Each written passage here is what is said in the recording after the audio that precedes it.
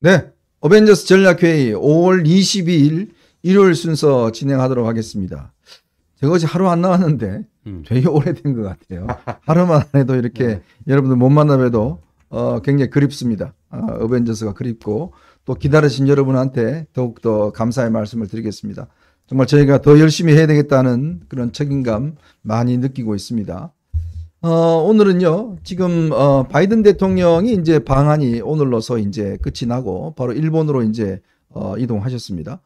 어, 바이든 대통령의 뭐 2박 3일 짧다면 짧고 긴, 길다면 긴, 어, 방문이었지만 참 많은 여러 가지 화제를 낳고 있습니다. 특히 윤석열 정부가 출범한 지 이제 뭐 얼마 되지도 않아서 바로 이 큰 이벤트가 있었고요. 정말 그 큰 이벤트를 잘 처리함과 동시에 또 여러 가지 중대한 한미 동맹에 있어서 어 여러 가지 변화를 줬다. 이런 측면에서 많은 부분들이 화제가 되는 것 같습니다. 그래서 이 부분도 오늘 한번 좀 짚어보도록 하겠습니다. 이와 더불어서 지금 이재명 후보가 어제 아마 여러분들 굉장히 충격받으셨죠. 어, 아마 여론조사 결과가 이재명 후보가 사실 좀 지는 걸로 나온 어, 결과가 나왔어요. 아, 물론 뭐 저는 이게 전적으로 지금 여론을 100% 반영하고 있다고는 보지는 않습니다. 어쨌거나 이런 조사가 나왔다는 것 자체만으로도 굉장히 의미가 저는 있다. 왜냐? 아니 대선 후보까지 한 사람이 지금 처음에는 뭐 당연히 이길 줄 알고 뭐 다른데 다 지원 유세 다니고 뭐 했는데 뭐 보니까 이게 지금 이상한 현상이 일어나고 있어요. 제가 그도 말씀드렸지만 선거라는 건요 정말 뚜껑을 열어봐야 합니다. 그리고 이 특히 보궐선거 이런 거는 그 지역의 정서 이런 것들이 굉장히 크게 좌우되는 거거든요. 그렇죠. 절대 과신해서도 하면 안 되는 게 선거의 첫 번째 원칙인데 이재명 후보가 그걸 간과한 것 같아요. 굉장히 자신감이 넘쳐나다가 지금 뒤통수 한 방 맞고 지금 거의 정신을 지금 어 못 쓰는 그런 상황인데 왜 이재명 후보가 이런 건지 요 이야기도 한번 다뤄보겠습니다. 또 지금 한동훈 후보자에 대한 신드롬이 뭐 대단하죠. 저희도 아마 유튜브를 몇 번 해드렸는데요. 그렇죠. 예. 오늘 그 한동훈 후보자를 잘 아는 그 월간조선의 권세진 기자가 이 한동훈 후보자에 대해서 아주 심층 취재를 한 게 있습니다. 네. 뭐 그걸 중심으로 해서 진짜 우리가 한동훈 후보자는 어떤 사람인지 음. 오늘 조금 여유롭게 한번 짚어보는 시간도 어, 가지도록 어, 한동훈 장관이죠. 어, 그 가지도록 하겠습니다. 어, 우선 첫 번째로 말이죠. 어, 지금 이제 이재명 후보 지금 진퇴양난에 거의 늪에 빠졌다. 네. 저는 사실 뭐 이재명의 늪에 민주당이 지금 빠져서 지금 헤어나오지도 음. 못한 그런 상황인데 그래서 보니까 당내 일각에서는 진짜 이러다가 당이 음. 완전히 깨지는 거 아니냐? 그렇죠. 또 한편에서는 야 이제 정말 친문들이 다시 나오는 거 아닌가? 음. 뭐 이런 지금 온갖 시나리오가 네. 어, 많이 나오고 있어요. 그 지호님 지금 이 사태 어떻게 보고 계세요? 이건 뭐 이재명 일생 일대의 최대의 위기가 지금 찾아왔다 이렇게 봐야 되는데 네. 5월 8일 대양을 출마 선언을 하면서 자신이 거기서 이기는 건 아예 언급조차 하지 않고요. 네. 인천 승리를 필두로 전국 과반 승리를 이끌어내겠다. 그러니까 인천시장 네. 이기게끔 자기가 만들고 전국 과반 승리를 이끌어, 이끌어내겠다 했는데 음. 뭐 인천시장한테 도움 준 게 없잖아요. 이재명, 이재명 출마 이후에 유정복, 박남춘 두 후보 간의 격차는 더 벌어진 것이고요. 그렇죠. 예, 그런데 어제 이제 이게 STI 조사 지난주 목금이더만요. 네. 예, 근데 3.7% 오차 범위 내긴 하지만 이게 선거에서는 심리라는 게 굉장히 중요하고요. 아, 중요하죠. 지금 또 오늘이 D-10 아닙니까? 네. D-10에서 역전당했는데 물론 제 역전도 논리적으로는 가능성이 있는 얘기입니다만 네, 네. 한번 이, 이 선거라는 건 기싸움 아니겠습니까? 그 다음에 네. 이 추세가, 트렌드가 중요하고, 그런데 어제 그, 그, 이재명이 역전당한 그 조사에서 또 우리가 그 인상적으로 봐야 될 게, 이 개딸들이 어디 갔냐 이거예요. 2030 개딸들이 이재명의 핵심 지지 기반이라고 하는데 음. 이 30대에서요. 윤형선 후보가 49.8%, 아. 이재명이 42.9% 그러니까 한 7% 정도를 윤형선 후보가 이겨버린 거예요. 네.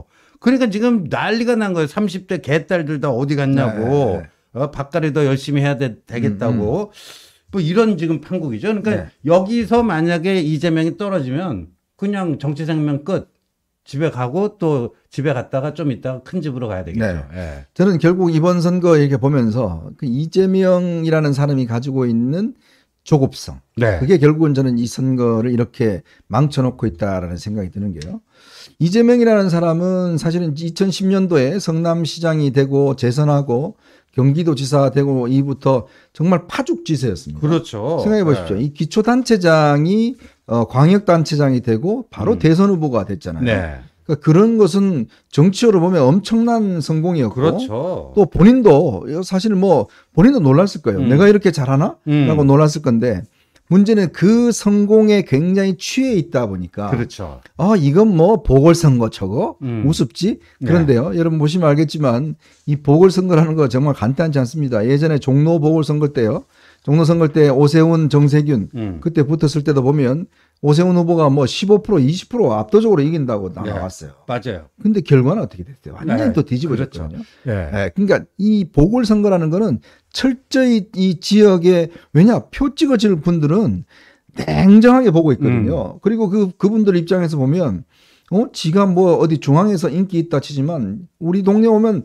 아니야. 음. 특히 이 특히 지방으로 내려갈수록 어떤 게 있냐면 중앙에서 유명한 사람. 네. 뭐 예를 들어서 그 이런 중앙에서 이제 이 자기의 어떤 명성을 믿고 내려가면요. 음. 시골 저 지방 가면 음. 판판이 깨져요. 그렇죠. 그 심리가 있어요. 그 맞아요. 네가 거기서 잘 나갔지. 네가 아. 우리 동네에 위해서 한 게 뭐야? 네. 너 동네 와서 내 손 한 번 잡아준 적 있어? 네. 우리 동네 다리 한 번 놔준 적 있어? 그렇죠. 이런 것들이 이미지가 크기 때문에 맞아요. 원래 이렇게 유명한 인사들은 음. 선거 운동을 어떻게 해야 되냐면 네. 철저히 로키로 가야 돼요. 로키로 가야 돼요. 골목길 누비고 혼자 다니고 혼자 다니고. 옛날에 이재호 저 이, 그전 의원이나 예. 그다음에 이정현 그 대표 그렇죠. 이정현 전 대표가 선거 운동 방식이 아주 저 이 모범형인데 그렇죠. 왜냐 이분은요 중앙에서 당 대표하고 했지만 음. 지역에 내려가서 뭐 했습니까? 그렇... 자전거 그 헌 자전거 하나 끌고 그다음에 이거 종이 마이크 종이 마이크 들고 어, 예. 온 동네를 갔다가 매일 다니면서 가서 그 잠자리도 예. 없어갖고 마을회관에 마을회관에 그냥 어. 자고 거기서 밥 얻어 먹고 네. 거의 거지 운동을 했어요, 네. 사실은. 네. 그러면서 선거 운동, 그래 사람들이 좀 짠하다. 음. 그래도 지가 뭘 하려고 하네. 음. 노력하네. 지가 그래도 그 중앙에서는 그래도 친박이라고 잘 나가지만 우리 지역에 와서 저렇게 고생하는 거 보니까 네. 내가 한 표 줘야 되겠다. 네. 이런 심정을 끌어놔야 되는데 그게 결정적 패착이에요. 그리고요, 그, 저, MB 정부 때, 이제 2008년 그 18대 총선에서 네. 이재호 그 의원이 그 당시 은평에서 떨어질 거라고 누가 생각했겠습니까? 근데 아, 니, 네가 실세라며 아. 그러면서 아. 이제 문국현 후보가 돼버린 거 아니에요. 네, 그렇죠. 그러고 나서 이제 몇 년 후에 음. 보궐선거가 발생하지 않습니까? 음. 거기에 이제 이재호 후보가 또 나갔는데 그때 뭘 했습니까? 중앙당 지원 유서 나오지 마라. 나오지 마라. 나 혼자 음. 뚜벅이 유서하겠다. 음흠. 자전거 타고 다니면서 뚜벅이 유, 서하겠다 네. 그러면서 이 90도 폴더 인사. 폴더 인사. 아, 그걸 그렇게 해가지고 밑바닥 팍 겼잖아요. 네네. 그런데 지금 이재명은 보니까요. 이게 이런 거예요.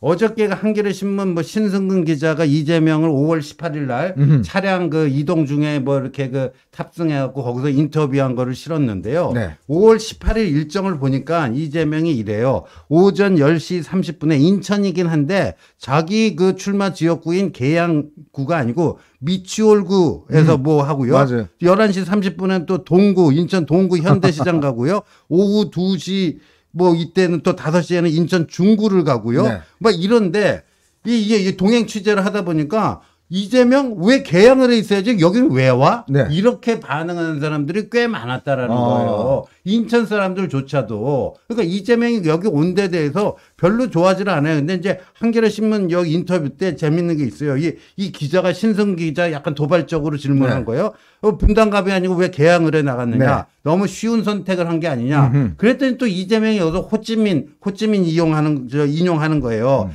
그래서 상대가 원하는 때와 장소 방법으로 싸우면 안 되고 네. 이길 수 있는 장소에서 이길 수 있는 타이밍에 이길 수 있는 방법으로 싸워야 된다. 음. 그러니까 거기다가 나는 내 한 몸 지금 당선되는 게 중요한 아니라 총괄선대위원장 아니냐. 네네. 지원 유세도 다녀야 되는 거 아니냐. 네. 그러니까 조금 이렇게 좀 여유 있는 개항을에 나와서 내가 좀 여유가 있어야지 타 지역에 지원 유세도 다니지 다닐 거 아니냐. 네. 그 얘기인데 이 얘기를 개항을 사람들이 들으면 기분이 어떻겠습니까? 기분 한마디도 더럽죠. 네. 저 자식이 말이야 우리 지역을 얼마나 우습게 보고 네. 그냥 네가 와갖고 그냥 한번 눈도장 찍으면 우리가 뭐 네 자동방으로 너한테 그냥 표 그냥 몰아주는 뭐냐 이렇게 되는 거죠. 그러니까 저기 그 치킨뼈 그 통에 그 한 방 맞은 것도요. 네. 그분 봤더니 당적도 없어요. 네. 그냥 정당 활동이라고 해본 적이 없는 60대 남성인데 음. 이재명이 그렇게 좀 오만 방자하게 구니까 시끄럽다고 그 던진 것 같더라고요. 그래서 네. 지금 보니까 그 취재 기자들이 가보니까요. 이재명 후보 사무실이 이제 그 지역 사무실에 이제 선거원 사무실 있지 않습니까? 네. 그 위에다가 한 두 개 층을 따로 빌려갖고 아, 외부에서 온 자기 그, 그 이제 운동- 운동원들 있잖아요. 그쵸. 그 이제 뭐 자기가 옛날에 경기도나 이런 데 네. 외인 부대들 외인 부대. 거기 와서 다 죽치고 앉아 있는 거예요. 아. 그러니까 이제 개양 국민들 입장에서 보면 음. 쟤들 뭐야? 음. 이런 이제 인상 왜냐하면 한 번 다닐 때 또 얼굴을 비춰야 되니까 네. 주변에서 와 따라다닙니다 선거운동. 유튜버만 한 10명 네. 따라다닌다면서요? 막 유튜버들 따라다니고 하는데 아 개양 국민들 입장에서는 네. 아우 시끄러 죽겠네 진짜. 그렇죠. 아니 지금 저녁에 와서 뭐 맥주 한 잔 하고 음. 닭한 마리 먹으려고 그러는데 음. 밑에서 이재명 이재명 해갖고 음. 난리를 치니까 그러니까요. 그분이 오죽 시끄러웠습니다. 그러니까요. 그걸 그냥 집어 던져 버렸어요. 예. 예. 그러니까 그만큼 그게 어떠면 지역의 정서를 대변하는 거예요. 음. 특히 이 선거 국민들은요, 우리가 저 이 몇 년, 4년 동안 유일하게 어쩌면 국민이 갑질할 수 있는 그렇죠. 지역 국민들이 그렇죠. 갑질할 수 있는 거는 예. 선거밖에 없습니다. 맞아요. 예. 그때 가면 국회의원들은 그냥 폴더 인사합니다. 네. 한표 주세요 하는데 음. 딱 선거 끝나고 나면 국회의원 만나기도 힘들어요. 그렇죠. 음. 그게 뭐냐면 자 이때는 내 시간이야 음, 국민의 맞아요. 시간이야 예. 내 지역 국민의 시간이고 내 표가 하나 있으니까 너 줄지 안 줄지를 결정해야 되는데 그렇죠. 근데 네가 와서 딴 사람들 그냥 막 데리고 다니면서 예. 막 하고 유튜브들 다니고 예. 더군다나 이재명 후보가 보니까 본인의 그 스타일이 나왔어요. 예. 그차 빵빵거리면서 가는 차 하니까 아, 그러니까요. 당신 범죄자예요. 욕설은 어? 범죄다. 아. 아니 그거를 유권자한테 세상에 예. 그런 경우가 있습니까? 그러니까요. 그 오히려 그러면 더 열심히 하겠습니다. 네. 감사합니다. 이렇게 해도 사실은 모자랄 판에 음. 아니 그 사람한테 그걸 갖다가 범죄라고요? 음. 이런 식으로 대하고 또 가만히 계시는 여성분들한테 뒤에다 쿡쿡 찔러요. 아, 그러니까요. 자기가 무슨 예. 뭐 예? 아니 그런 게 얼마나 기분 나쁜 음. 건지 모르는데 더군다나 오늘 같은 경우도 보면 지금 지역에 있지 않고 음. 또 지금 어디 다니고 다른데 또? 오늘 보니까요 어디 갔냐면 이 저 어디 충남 쪽에 어디 뭐 간 것 같은데 음. 거기 가서도 또 한마디를 또 해. 청주로 갔군요. 아, 청주. 가서 유세라는데 예. 이 국민의힘이 찻대기 정당이고 북풍 정당이고 사적 이익을 위해서 정치 권력을 남용했다. 막 음. 이렇게 떠들고 있는 거예요. 네. 그러니까 이게 중요한 게 아니면 지역민들 입장에서 보면 예. 내 지역이 얼마나 도시가 좀 깨끗해지고 예. 일자리가 많아지고 예. 그다음에 내 도시가 얼마나 발전하는 건지 예. 우리 아이들 얼마나 잘 키울 수 있는 여건이 음. 마련되는 건지 이런 문제가 중요한 음. 거거든요.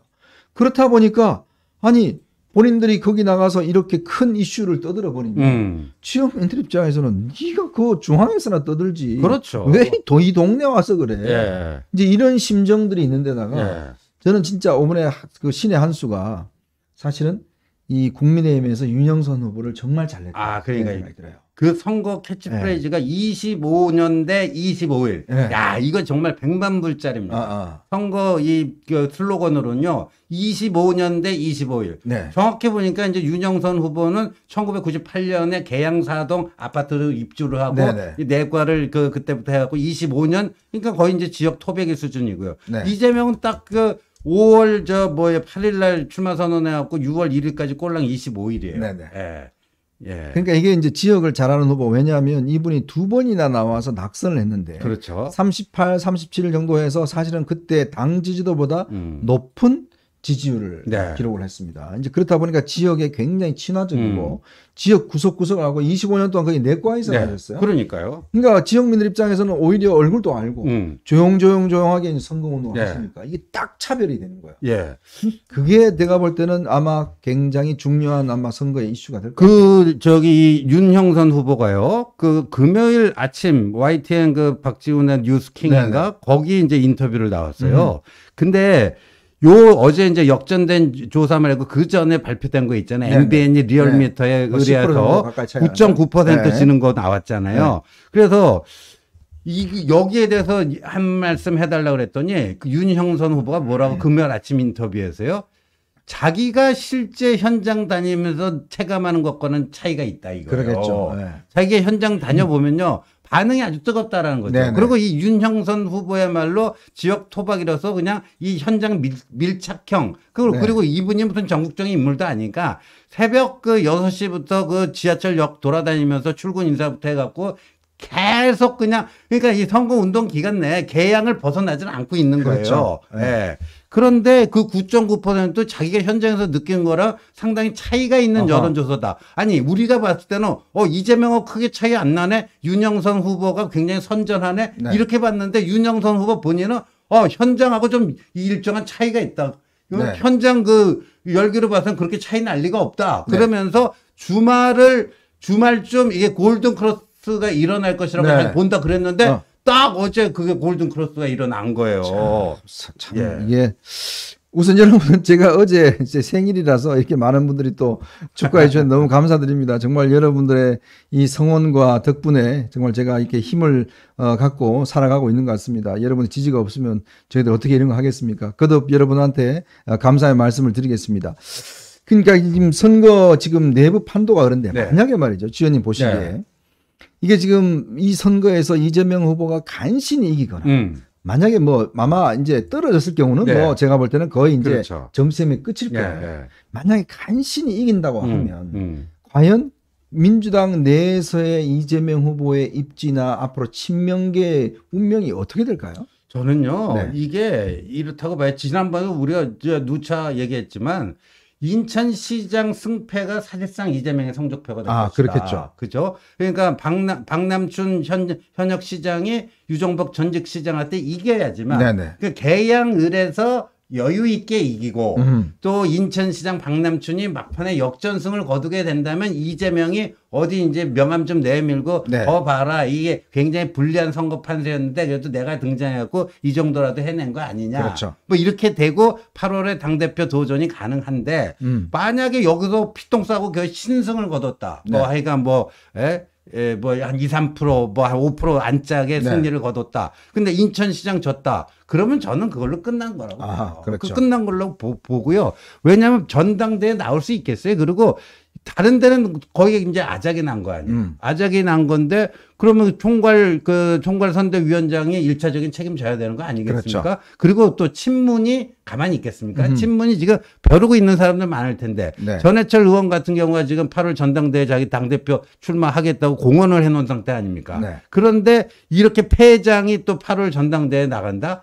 그렇게 되면요, 거의 그 이재명이 계속 고집을 피우고 가면 민주당이 정말 쪼개질 위험에 처할 것이다 이렇게 보여져요. 제가 그 최근에 어, 민주당 의원을 한 번 만났어요. 네. 어, 근데 이제 그분이 참 굉장히 충격적인 이야기를 저한테 하던데 음. 음, 그런 이야기를 합니다.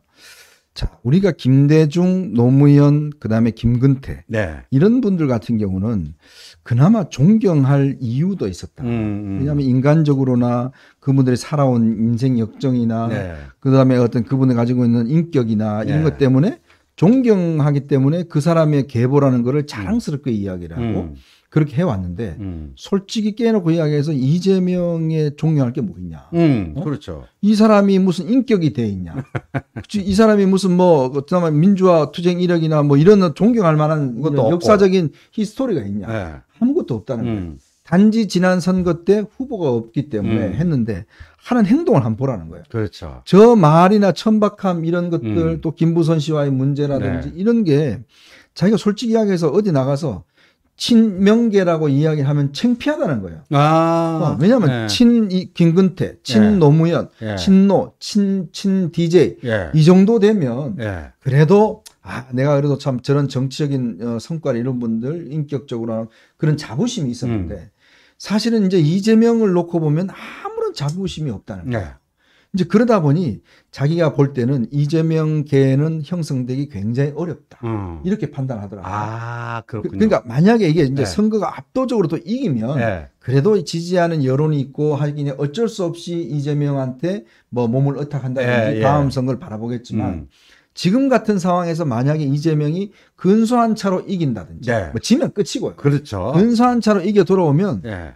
이제 이재명이 가지고 있는 그 팬덤과 대선 후보로서의 장점, 개파 보스로서의 네. 어떤 자격 예. 이거 다 없다는 거예요. 그렇죠. 그러면 제일 흔들릴 게 뭐냐면 예. 친명계라는 이야기입니다. 그렇죠. 친명계. 더군다나 친명계라는 게 음. 지금 김남국이라든지 음. 최강욱이라든지 최강욱. 이수진이라든지 예.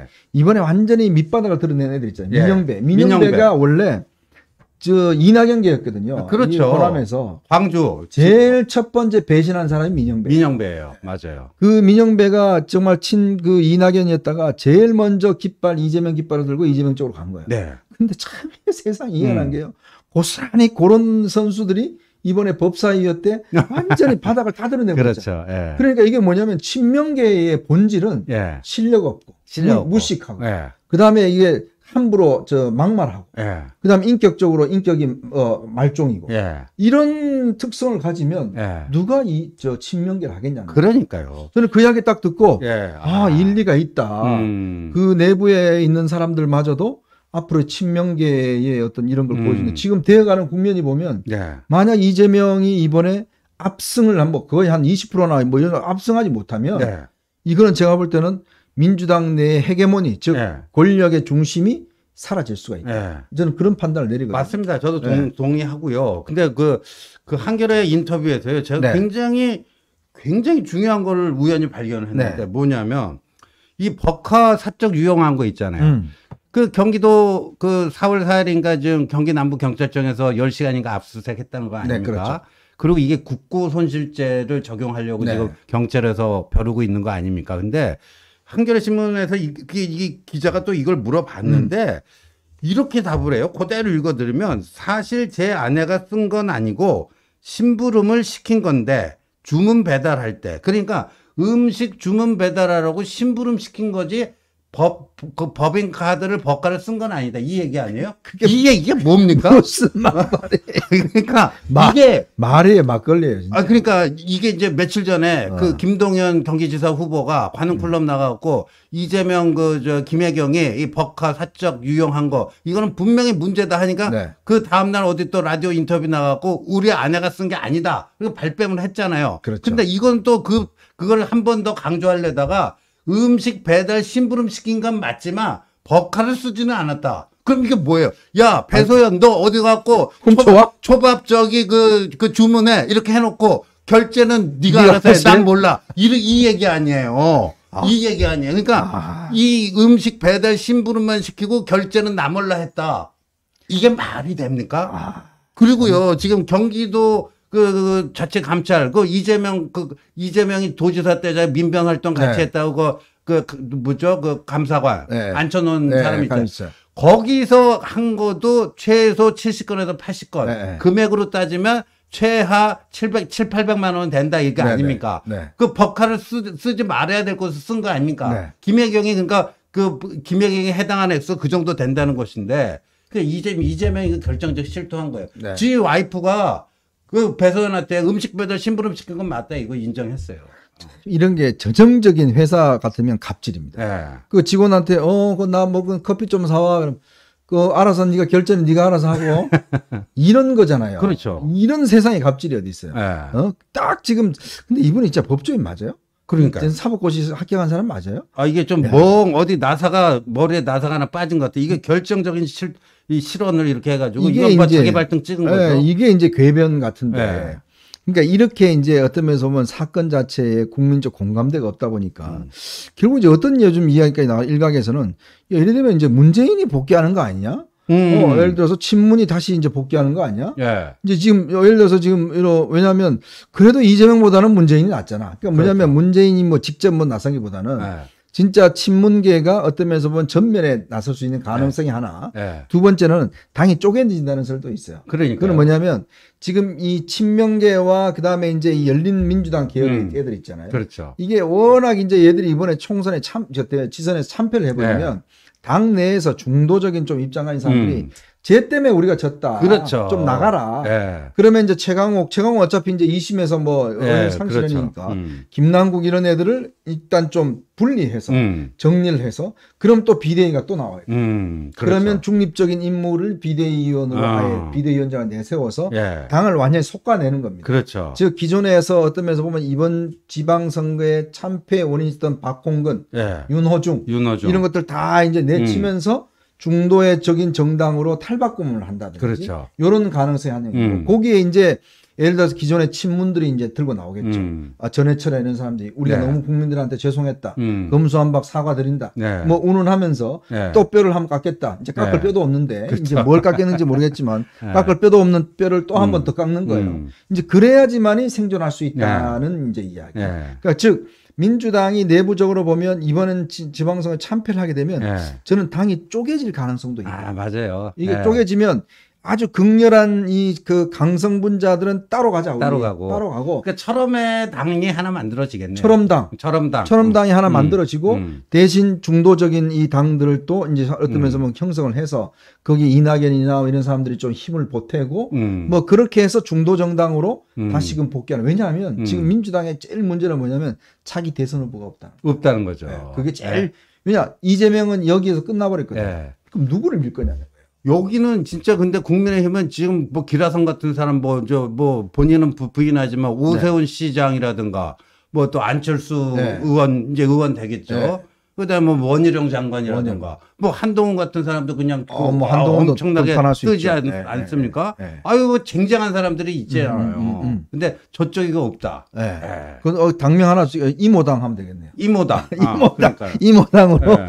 하면 아주 뭐 철험당, 네. 이모당 뭐 장명들이 아주 뭐 많이 올라오고 있습니다. 음. 그러니까 결국 이렇게 되면 저는 정계 개편이 자연스럽게 일어날 수 있는 가능성이 있는 게 아니냐. 네. 이 예를 들어서 뭐 국민의힘이나 윤석열 대통령이 뭘 하지 않더라도 예. 실제로 민주당이 내부적인 어떤 갈등과 이것 때문에 실제 이제 당이 어떤 면에서는 좀 양분화되는 그렇죠. 그런 현상도 나올 수가 있고 음. 그렇게 된다면 어 아무래도 왜냐 국회의원들은요 제일 중요한 게 다음 선거입니다. 그렇죠. 다음 선거에 본인이 불리하다고 판단하면 음. 빨리 행동할 가능성이 음. 그렇죠. 예. 그러면 결정적으로 이제 만약 윤석열 정부가 그래도 경제 위기나 안보 문제나 이런 걸 그나마 좀 잘 극복을 음. 하고 잘 해결해 나간다 그러면 국민들이 여기 힘이 실리잖아요. 그러니까 이제 네. 어, 지금 2박 3일 동안에 이제 오늘 제 지금 이제 바이든 대통령이 일본으로 떠났는데요. 네. 이게 굉장히 성공적인 한미 정상회담 아닙니까? 음. 전 세계가 주목을 했고 기대 이상의 성과를 냈고 네. 그러면 국민들이 이걸 다 보고서 평가를 합니다. 네. 제가 어제 택시를 탔더니요. 네. 그 택시 기사분이 예, 저쪽 호남 쪽 그. 말씨를 쓰시는 네네네. 분이던데 바이든 대통령이 와서 우리나라가 좀 많이 좋아지지 않겠는가? 네. 구체적으로 뭐라고 이제 이 얘기는 못 하시는데 네. 그런 느낌이 든다. 맞아요. 네. 뭐 이런 얘기를 하는 거예요. 네. 그래서 이것 또한 이제 한미 정상회담의 성공도 여론에 반영이 되면요. 네. 이재명 그 윤영 선거의 격차는요. 네. 저는 이제 오차범위 밖으로 벗어날 수가 그러니까요. 있고요. 네. 근데 이재명이 이- 지금부터 딜레마예요. 아. 뭐냐면 그러면 지금 이제 자기 코가 석재잖아요. 네. 그럼 선거 딱 10일 남았잖아요. 네. 그러면 자기가 일단 살고 봐야 되니까 어. 다른데 지원 유세 가면 안 됩니다. 발목 잡히죠. 어, 그냥 계속 새벽부터 그냥 골목길 훑고 다녀야 돼요. 구의원처럼. 어? 근데 그러면 이게 총괄선대위원장이 지원 유세도 안 하고 뭐 하는 거야? 그렇죠. 또 이렇게 될 거죠. 네. 또 근데 지원 유세를 나가면 이제 개항을 야 저자가 여론조사 지는 거 나갔는데도 아직도 정신 못 차렸네. 네. 이렇게 될 거 아니에요. 어허. 그러니까 이런 이런 딜레마에 지금 빠져버리고. 참 세상 일이라는 게요. 참 마음대로 되는 게 없습니다.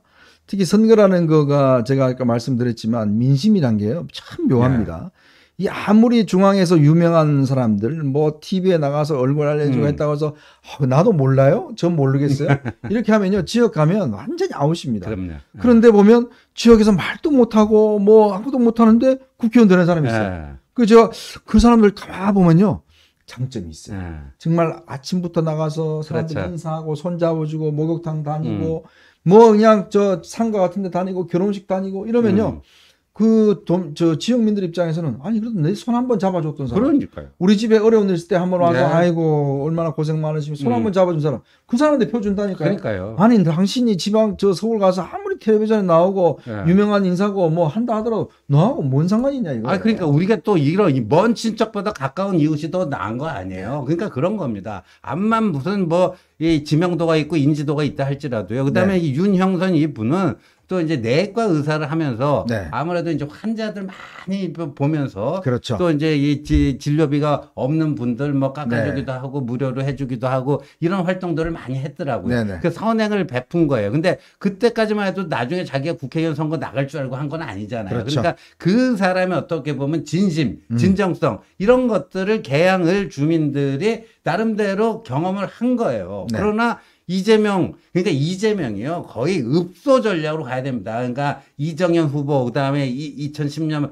그 은평을 재보궐 선거 네네. 때 이재호 장관이 자전거 끌고 중앙당 일체 지원 요새 안 받고 외지인들 들이지 않고 아 그렇게 해야 되는데 지금 선거 전략상으로도 대실패를 하고 있다. 설마 이 방송을 이재명이 듣지는 않겠죠. 이거 굉장히 중요한 비밀인데 이거 알면 네. 그렇게 하면 또 안 되는데 그냥 지금 하시던 대로 네. 계속 쭉쭉 그냥 그냥, 그대로 하시면 쭉. 음. 예, 하시면 좋은 결과가 있을 것 같습니다. 그러니까 저희 말 듣지 마시고 음. 그냥 지금 하던 대로 가셔서 그냥 뭐 외지인들 저다 해갖고 하고 가서 으쌰으쌰 욕좀 네. 하시고 뭐 그런 거 하시면 어, 아주 좋은 결과가 있을 것 같습니다. 자, 그래서 오늘 이제 그, 윤- 저, 다음 이야기로 넘어가겠습니다. 여러분들 정말 많은 또 이 저희 후원 내주셔서 너무 또 감사하다는 말씀 거듭 또 드리겠습니다. 여러분 혹시 보시면요. 옆에 있는 좋아요 이거 한번 또 눌러주시고 또 저희 두 번째 이야기도 계속 좀 귀 기울여주시면 고맙겠습니다. 아이고 지금 동시 네. 시청자가 2만 명이 넘어갔네요. 네. 아이고, 아이고. 또 일요일 날 이렇게 너무 감사합니다. 들어오셔서 어, 시청해 주셔서 너무너무 감사드리겠습니다. 그만큼 이 선거가요. 또 가면 갈수록 재미도 있는 것 같아요. 네. 역시 이게 네. 싸움은 붙어야 되고 그럼요. 선거는 또 의미가 있어요. 네, 그럼요. 재미가